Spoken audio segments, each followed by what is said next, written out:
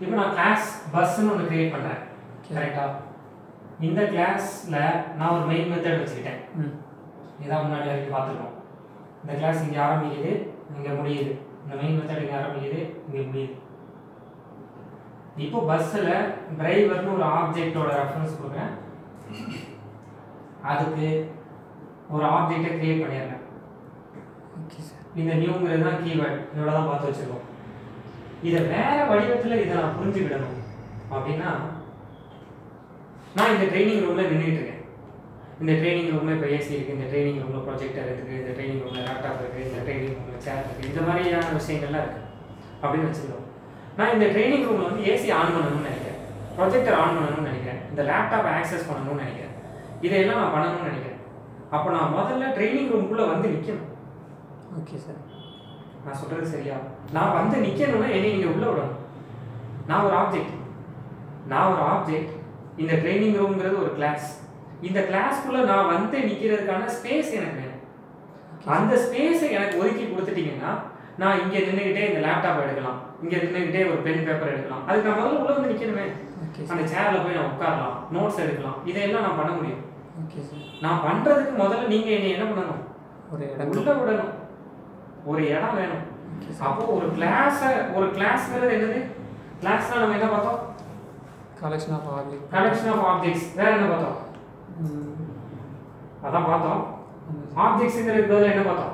ஆப்ஜெக்ட்ஸ்க்கு real time entity group of okay collection of state and பிஹேவியர்னு சொல்லலாம்னு பார்த்தோமா? ஆமாம் sir அப்போ கிளாஸ்ங்கிறது ஆப்ஜெக்ட்ங்கிறது ஸ்டேட் அண்ட் பிஹேவியர்னா okay sir கிளாஸ்ங்கிறது collection of state and behaviour okay sir சரியா? ம். கிளாஸ்ங்கிறது collection of state and behaviour அப்போ இந்த கிளாஸுக்குள்ள நிறைய ஸ்டேட் இருக்கு நிறைய பிஹேவியரும் இருக்கு. ஒரு கிளாஸ்க்குள்ள நிறைய பிஹேவியர் இருக்கு. அந்த பிஹேவியர்ல ஒன்று தான் இந்த மெயின் பிஹேவியர் ஓகே சார் நான் பைக்ல ஏறி உட்காந்து ஆக்சிலரேட்டரை இன்க்ரீஸ் பண்ணணும்னு நினைக்கிறேன். பிரேக்கை கிளச்சை பிடிக்கணும்னு நினைக்கிறேன். கியரை டவுன் பண்ணணும்னு நினைக்கிறேன். பிரேக்கை பிடிக்கணும்னு நினைக்கிறேன். இந்த மிரரை திருப்பணும்னு நினைக்கிறேன். இது எல்லாத்துக்கும் நான் முதல்ல என்ன பண்ணணும்னா பைக்ல ஏறி உட்காரணும். பைக் என் கைக்கு வரணும். பைக் என் கைக்கு வந்தால் தான் நான் இந்த வேலை எல்லாத்தையும் செய்ய முடியும். அப்போ பைக்குங்கிற கிளாஸ்ல எனக்கு ஸ்பேஸ் வேணும். ஓகே சார் கரெக்டா அந்த ஸ்பேஸ் இருந்தால் தான் இது எல்லாமே பைக்கோட ஒவ்வொரு பிஹேவியர் ஆக்சிலரேட் அப்படிங்கிறது ஒரு பிஹேவியர் இன்க்ரீஸ் ஸ்பீட் அப்படிங்கிறது ஒரு பிஹேவியர் டவுன் கியர் அப்படிங்கிறது ஒரு பிஹேவியர் சேஞ்ச் மிரர் ஆங்கிள் அப்படிங்கிறது ஒரு பிஹேவியர் இது ஒவ்வொன்றும் ஒவ்வொரு பிஹேவியர் இந்த ஒவ்வொரு பிஹேவியரையும் நான் ஆக்சஸ் பண்ணுறதுக்கு எனக்கு ஸ்பேஸ் வேணும். அதாவது பைக்கில் எனக்கு இடம் கொடுக்கணும். பைக்கில் இடம் கொடுத்தாதான் நான் அந்த ஸ்பேஸில் தான் போய் உட்காந்துட்டு இந்த பிஹேவியர் எல்லாம் ஆக்சஸ் பண்ண முடியும். நான் சொல்றது சரியா தான்? அப்போ பஸ்ல இதே மாதிரி நிறைய பிஹேவியர்ஸ் இருக்கு. இந்த பிஹேவியர் எல்லாம் நான் ஆக்சஸ் பண்ணணும். இந்த பிஹேவியர் எல்லாம் ஆக்சஸ் பண்ணணும்னா எனக்கு பஸ்ல இடம் கொடுக்கணும். எனக்குன்னு தனியா இடம் கொடுக்கணும். அந்த எனக்குன்னு இடம் கொடுக்கறது தான் இந்த நியூ கீவேர்டு ஓகே சார் அப்போ அந்த ஸ்பேஸ்ல போய் இந்த இந்த ஆப்ஜெக்ட் ஒரு ஆப்ஜெக்ட்டை கிரியேட் பண்ணிட்டோம். ஆப்ஜெக்ட்டை கிரியேட் பண்ணிட்டோம்னா பஸ்ஸுங்கிற ஒரு மெமரி ஸ்பேஸ் உண்மையான பஸ் இல்ல. பஸ்ஸுங்கிற ஒரு மெமரி ஸ்பேஸ் அந்த மெமரி ஸ்பேஸ்ல நியூ பஸ்ஸுங்கிற ஒரு சின்ன ஸ்பேஸை கொடுத்துட்டாங்க. அந்த ஸ்பேஸ்ல போய் இப்ப டிரைவர் நிக்கிறாரு. இப்போ இந்த டிரைவர் இந்த பஸ்ஸுங்கிறதே ஒரு கிளாஸ் ஓகே சார் இந்த கிளாஸ்ங்கிறது collection of objects collection of ஆப்ஜெக்ட்ஸ்ங்கிறது collection of state and behaviour அப்போ நிறைய பிஹேவியர்ஸ் இந்த பஸ்ஸோட அசோசியேட் ஆகி இருக்கு. ஓகே சார் அந்த பிஹேவியர் எல்லாத்தையும் இந்த டிரைவரால ஆக்சஸ் பண்ண முடியும். ஓகே ஏன் முடியும்? பஸ்ஸுக்குள்ளே இருக்காரு இவர் பஸ்ஸுக்குள்ள தான் இருக்காரு. இவர் மெமரியை பஸ்ஸுக்குள்ள தான் அலோகேட் பண்ணியிருக்கோம். ஓகே சார் அதனால தான்.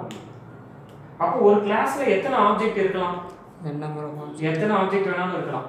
மினிமம் ஒரு கிளாஸ்ல எத்தனை ஆப்ஜெக்ட் இருக்கலாம்? ஒன்று மினிமம் ஒன்னா ஜீரோவா ஒன்று சார் ஒன்னு இருக்கணும். ஜீரோ இருந்தா கலெக்ஷன் ஆஃப் ஆப்ஜெக்ட்ஸ் ஜீரோ அப்போ கிளாஸே இல்லைன்னு அர்த்தம். கரெக்டா Okay. ஒரு கிளாஸுக்கு நிறைய ஆப்ஜெக்ட்ஸ் இருக்கலாம். மினிமம் ஒரு ஆப்ஜெக்ட் இருக்கணும் ஒரு ஆப்ஜெக்ட்டுக்கு எவ்வளவு ஸ்டேட் இருக்கலாம்? ஒரு மினிமம் ஒன்று இருக்கும் சார் எவ்வளவு வேணாலும் இருக்கலாம். கரெக்டா சரி. மினிமம் ஒன்னு இருக்கணும். எவ்வளவு பிஹேவியர் இருக்கணும்? என் நம்பர் ஆஃப் மினிமம் எவ்வளவு இருக்கணும்? ஒண்ணு இருக்கணும். ஒன்னாவது இருக்கணும். சரிதானே இப்போ நான் டிரைவர் அப்படின்னு எழுதுறேன். இப்போ டிரைவரோட வேலை என்ன? கிளச் பிடிக்கணும் ஆக்சிலேட்டர் ஓகே சுருக்கமா சொல்றதா இருந்தா டிரைவரோட வேலை பஸ் ஓட்டுறதுன்னு வச்சுக்கலாமா? அப்ப டிரைவர் டிரைவ்ஸ் த பஸ் அப்படின்னு எழுதலாமா? ஓகே சார் டிரைவர் டிரைவ்ஸ் அப்படின்னு எழுதுனா இது இங்கிலீஷ். இது தமிழ்ல எப்படி எழுதுறது? ஓட்டுநர் பேருந்தை ஓட்டுகிறார் அப்படின்னு எழுதணும். அப்படிதானே அப்படி எழுதுனா தமிழ். இப்போ நம்ம எதுல எழுதணும்? ப்ரோக்ராமிங் லாங்குவேஜ்ல எழுதணும். இதுல எது ஆப்ஜெக்ட் டிரைவர் சார் டிரைவர் தான் ஆப்ஜெக்ட் எது அவர் செய்யற வேலை? டிரைவ்ஸ் டிரைவ்ஸ் அப்போ டிரைவ்ஸுங்கிறது தான் பிஹேவியர் சரி அவ்வளவுதான். இது ப்ரோக்ராமிங் லாங்குவேஜ்ல எழுதுறதா இருந்தா ஆப்ஜெக்ட் நேம் டாட் டிரைவ் டிரைவ்ங்கிறது ஒரு ஆக்டிவிட்டி தானே? அவ்வளோதான் பிராக்கெட் போட்டுக்கோங்க. சரி. இந்த பிராக்கெட் எதுக்காக போடுறாங்க? அப்படிங்கிறதெல்லாம் பின்னாடி பேசுவோம். ஓகே இது புரியுதா? அதாவது இந்த டாட் ஆபரேட்டர்னு சொல்லுவாங்க. டாட் ஆபரேட்டருக்கு முன்னாடி ஆப்ஜெக்ட்டும் டாட் ஆப்ஜெக்ட்டுக்கு டாட் ஆபரேட்டருக்கு பின்னாடி அதோட பிஹேவியரும் ஓகே சார் பிஹேவியரை தான் நம்ம என்ன சொல்றோம்? மெத்தட் அப்போ முதல்ல நான் ஆப்ஜெக்டை கிரியேட் பண்றேன். இப்போ டிரைவர் டாட் டிரைவ் அப்படின்னு எழுதிடுறேன் இந்த இடத்துல. ஓகே சார் அவ்வளவுதான். இது புரியுதா? புரியுது இதுக்கு பேர் தான் மெத்தட் இந்த மெத்தட் எந்த கிளாஸ்ல இருக்கு? பஸ்ங்கிற. கிளாஸ்ல இருக்கு. பஸ்ங்கிற கிளாஸ்ல இருக்கிற இந்த மெத்தடை இந்த ஆப்ஜெக்ட் வச்சு நான் ஆக்சஸ் பண்றேன். ஓகே சார் இது வரைக்கும் பேசியிருக்கிறது புரியுதா? இந்த மெத்தடை எப்படி டிஃபைன் பண்றது? இந்த மெத்தடை கால் பண்ணுனா என்ன நடக்கும்? மெத்தட் காலிங் ஸ்டேட்மெண்ட்னா என்ன?